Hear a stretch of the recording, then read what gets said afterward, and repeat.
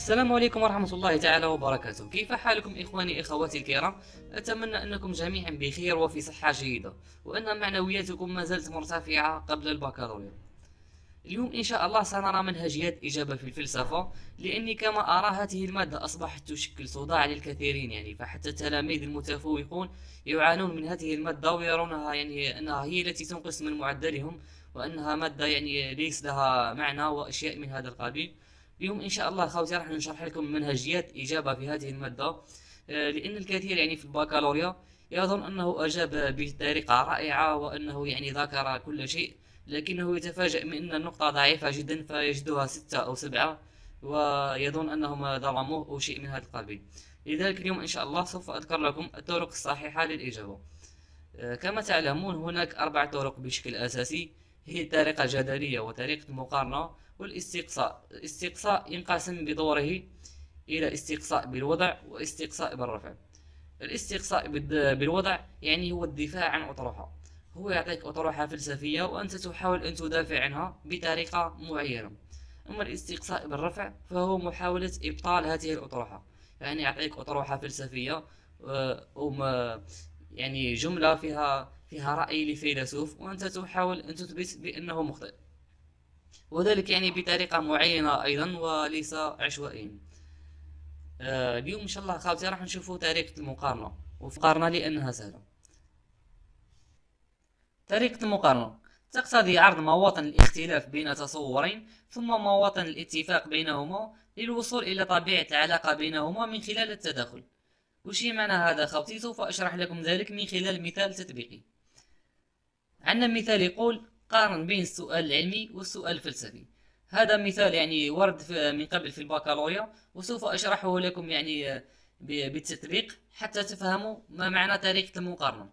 لحل السؤال خوتي تحتاج إلى منهجية للإجابة. وشي معنى منهجية الإجابة؟ يعني طريقة معينة ديروا بها المقالة الفلسفية تاعكم. آه، في طريقة المقارنة خوتي يجب أولا أن تعرض الأشياء المختلفة. يعني مواطن الاختلاف بين السؤال العلمي والسؤال الفلسفي. ولا يعني آه أي سؤال يطرح لكم بين العنصر الأول والعنصر الثاني اللي مدوه لكم.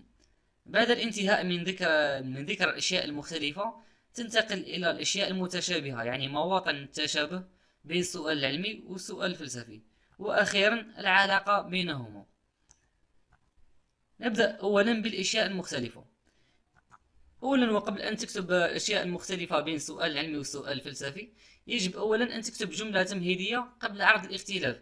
يعني لكي تكون المقالة تاعك منسقه فيجب قبل أن تذكر الاشياء المختلفه أو الأشياء المتشابهة يعني بين السؤال العلمي والسؤال الفلسفي أن تكتب جملة تمهيدية. مثلا في هذا السؤال نقول إذا نظرنا إلى السؤال العلمي والسؤال الفلسفي من زاوية التعريف نلاحظ بأن هناك فرق واضح بينهما لأن ثم تبدأ تذكر الاختلاف. آه الطريقة هنا خوتي بها ما تخلطوش أريد أن أوضح لكم يعني نقطة مهمة جدا. فأنت تذكر مميزات أو خصائص السؤال العلمي ولا يعني أي أي عنصر مديه لكم في موضوع المقارنة تذكر الخصائص تاعو حتى تكملها كلها به تروح الخصائص تاع العنصر الآخر. يعني مثلا هنا نقول السؤال العلمي مجاله عالم الطبيعة والمحسوسات. ثم يعني تذكر له خاصية أخرى يعتمد السؤال العلمي على المنهج التجريبي. وبعد الانتهاء من الخصائص كلها تروح إلى الخصائص تاع السؤال الفلسفي. تقول مثلا أما السؤال الفلسفي فمجاله الميتافيزيقا. وتروح مطة أخرى يعني خاصية أخرى يعتمد السؤال الفلسفي على المنهج التأملي العقلي. يعني هنا خوتي حاب نوضح لكم حاجة أيضا. فأنت عندما تختار يعني الأشياء المختلفة فيجب أن تكون في, في نفس المجال. يعني هنا مثلا قلنا السؤال العلمي مجاله عالم الطبيعة والمحسوسات. عندما راح راح تروح الخصائص تاع السؤال الفلسفي ما تقولوش يعني مثلا السؤال الفلسفي يطرح من قبل الفلاسفة. هنا ليس هناك موضوع مقارنة تماما فهذا ليس اختلاف يعني في نفس الموضوع. راح نوضح لكم بشكل أفضل. ها هو المثال. هنا قلنا السؤال العلمي مجاله عالم الطبيعة والمحسوسات. أما السؤال الفلسفي فمجاله الميتافيزيقا. يعني هنا موضوع المقارنة هو المجال. هذاك مجالوزي وهذاك مجالوزي يعني الاختلاف هو في نفس الموضوع. بالنسبة يعني للمطة الثانية نفس الشيء بل يعتمد السؤال العلمي على المنهج التجريبي والأخرى يعتمد السؤال الفلسفي على المنهج التأملي. وهنا موضوع المقارنة هو المنهج. يعني آه، موضوع موضوع مشترك. آه، أظن أن هذا واضح خوتي. اشفوا على هذه النقطتين جيدا. عندما تذكر خصائص السؤال السؤال العلمي ولا يعني أي موضوع المقارنة اللي مدوه لكم. تكملهم كامل ومن بعد تذكر الخصائص الأخرى. وكي تخير هذه الخصائص خير وحايد يعني على بالك باللي في الموضوع تاع المقارنة الثاني كاين ضد تاعهم تماما. يعني يا ضد تاعهم يا يختلفوا في نفس الموضوع. آه، إن شاء الله تكونوا فهمتوا خاوتي إذا ما فهمتوش حاجة أيضا ضعوا سؤال في التعليقات وسأجيب عنه بإذن الله.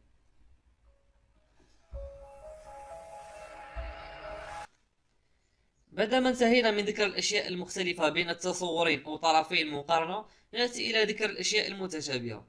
وتماما مثل السابق يجب أن تكتب جملة تمهيدية قبل عرض هذا التشابه. مثلا نقول إن هذا الاختلاف الموجود بين السؤال العلمي والسؤال الفلسفي لا ينفي وجود نقاط يشتركان فيها لأن هناك اتفاق بينهما وتذكر لهم هذا الاتفاق. مثلا تقول كلاهما له دافع واحد وهو تجاوز المعرفة العامية الساذجة. وتبدأ يعني في الشرح في بضعة أسطر وتعطيهم أمثلة يعني من الواقع وإذا أمكن يعني تعطيهم أقوال فلسفية وإلى غير ذلك. وبعد الانتهاء من ذكر هذه الأشياء المختلفة تأتي إلى ذكر العلاقة بينهما. تماما مثل ما فعلنا مع ذكر الاختلاف والتشابه يجب أن نذكر جملة تمهيدية قبل عرض العلاقة بينهما. وذلك بالطبع كما قلنا لكي تكون المقالة الفلسفية تاعنا ملصقة.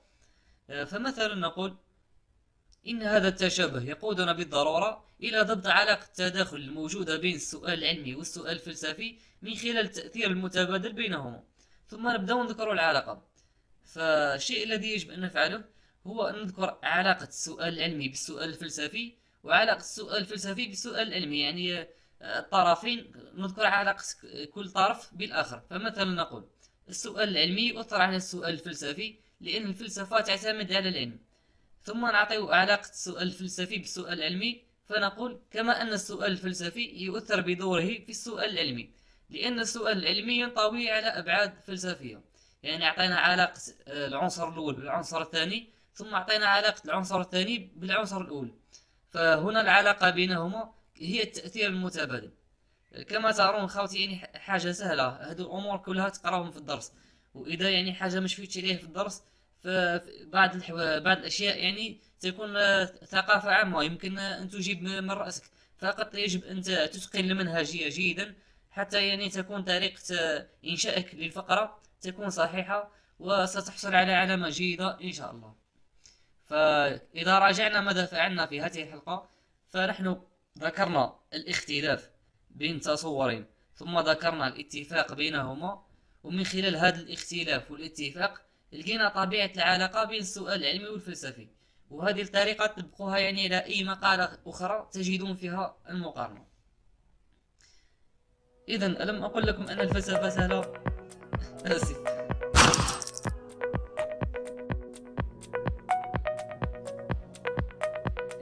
خاوتي نكونوا خلصنا طريقه المقارنة. نذكركم بلي أن بلي لم أدرج المقدمة والخاتمة لأني سأضع لها فيديو منفصل إن شاء الله.